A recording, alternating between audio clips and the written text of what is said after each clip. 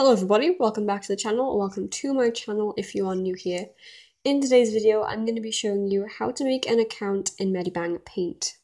These are specific accounts that you make in here to publish things to the Medibang specific art platform and to get extra features such as new brushes or different patterns. To do this, you're firstly going to need to go back into the Medibang home menu. So exit whatever drawing you're on if you're on one, or if not, then just go from the gallery. Here is the main menu that you enter. If you haven't got an account already, it will have a pop asking you to make one. But because I already have one, I'm going to be showing you how to make a new one. I've just logged out of my account so I can show you how it looks properly. What you're going to want to do is click on this icon over here, and then this will pop up. You can do either one, but here we're going to be creating a new account. So click on that. It will then take you to this page, which might look different depending on what view mode your device is set on, whether it's landscape or portrait.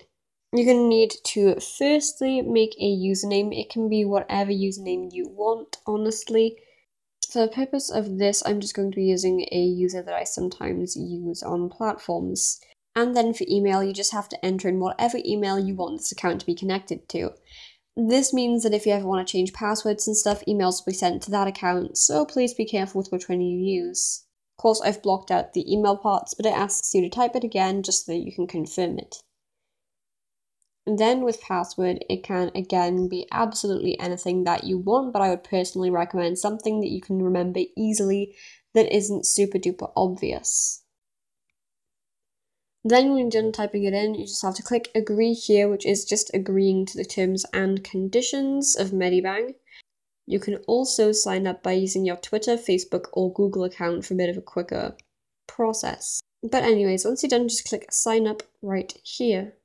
And now it will say that you have to check your email, so there will be a notification for you in your Gmail app if you have one, so you'll just have to go into there and click the confirmation link. Once you click the confirmation link, it will take you right here to the Medibang website. From here, you can set your profile picture, and then it takes you on to the official website Artstreet. Now you'll see here, if you go back into the app, your profile picture will be colored in with whatever you chose. I just went for an automatic one. And now you actually have an account. This means that people can follow you or you can follow other people and you can use the Artstreet art platform, which is really, really neat. You can also log out by going into here. You can edit things about your account by going onto the Artstreet website, which I think is pretty cool.